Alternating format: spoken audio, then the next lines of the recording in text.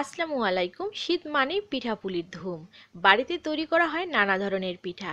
আজ তৈরি করে দেখাবো একটা মজাদার পিঠা রেসিপি নারিকেলের পুর ভরা সুজি ও ময়দা দিয়ে একটা পিঠা রেসিপি এটা খেতে অনেক মজার। আশা করি আজকের এই রেসিপিটি আপনাদের কাছে অনেক ভালো লাগবে। প্রথমে আমি পুরটা তৈরি করে নিব। জন্য চিনির ক্যারামেল তৈরি করে নিচ্ছি। আপনারা চাইলে পুরটা গুড় দিয়ে তৈরি করতে পারেন বা ক্যারামেল বাদেও তৈরি করতে পারেন। ক্যারামেলটা যখন এরকম সুন্দর একটা কালার চলে এসেছে, একটা স্পেসুলা দিয়ে এটা নাড়িয়ে নিব বা এভাবে ঘুরিয়েও নিতে পারেন।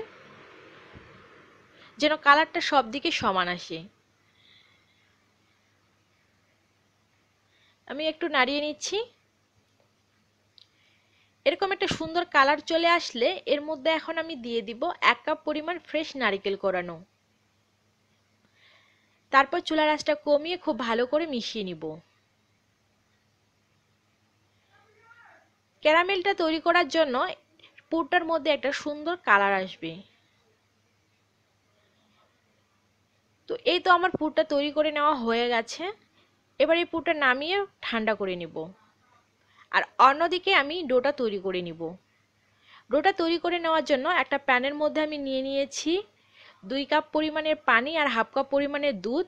এর মধ্যে দিয়ে দিচ্ছি এক কাপ পরিমাণের সুজি। সুজিটা কাঁচা সুজি।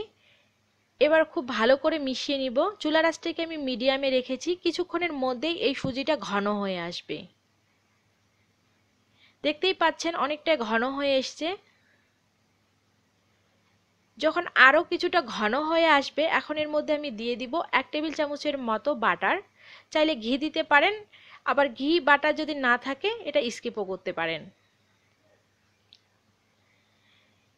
এর মধ্যে এখন দিয়ে দিব আমি হাফ কাপ পরিমাণের ময়দা। ময়দাটা দেওয়ার পরে খুব ভালো করে মিশিয়ে নিতে হবে। চুলা রাসটা এই পর্যায়ে লোয়ে রাখতে হবে, নইলে নিচে থেকে লেগে যেতে পারে।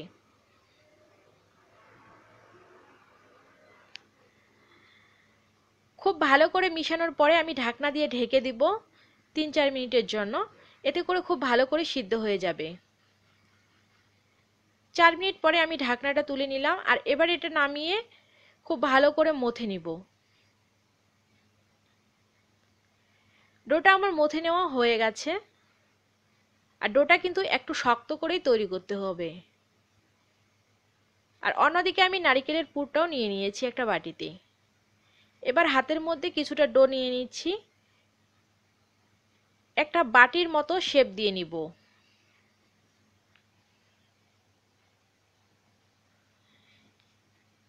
দেখতেই পাচ্ছেন আমি একটা বাটির মতো শেপ দিয়ে নিয়েছি।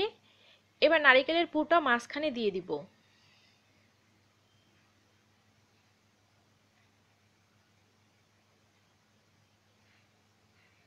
পুরটা দেওয়ার পরে হাত দিয়ে একটু চিপে দিতে হবে, আবার সাবধানে এটাকে লাগিয়ে নিতে হবে। খুব ভালো করে এটা সিল করে নিতে হবে, যেন কোনো ফাটল না থাকে, নইলে এটা ফেটে যেতে পারে তেলে ভাজার সময়। হাত দিয়ে এভাবে ঘুরিয়ে গোল করে নিচ্ছি। গোল করে নেওয়ার পরে একটা টুথপিক দিয়ে আমি এভাবে একটু ডিজাইন করে নিব।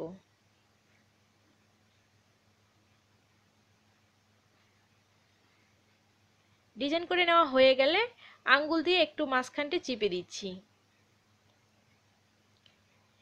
একইভাবে আমি সবগুলোই তৈরি করে নিব। সবগুলো পিঠাই তৈরি করে নেওয়া হয়ে গেছে। আপনারা চাইলে এখন এগুলো ভাপে দিয়ে নিতে পারেন। ভাপে দেওয়ার একটা রেসিপি আমার চ্যানেলে রয়েছে। ডেসক্রিপশন বক্সে লিঙ্কটা দেওয়া আছে, চাইলে দেখে নিতে পারেন। আমি আজকে এগুলোকে ভেজে নিব। ভাজার জন্য একটা প্যানে তেল গরম করতে দিয়েছি মিডিয়াম আছে এবার একে একে তৈরি করে রাখা পিঠাগুলো দিয়ে দিচ্ছি। মিডিয়াম আছে, এগুলোকে ভেজে নিব। আর আমার এগুলো ভাজাও হয়ে গেছে। আমি খুব বেশি ব্রাউন কালার করে ভাজেনি, হালকা একটু ভেজে নিয়েছি।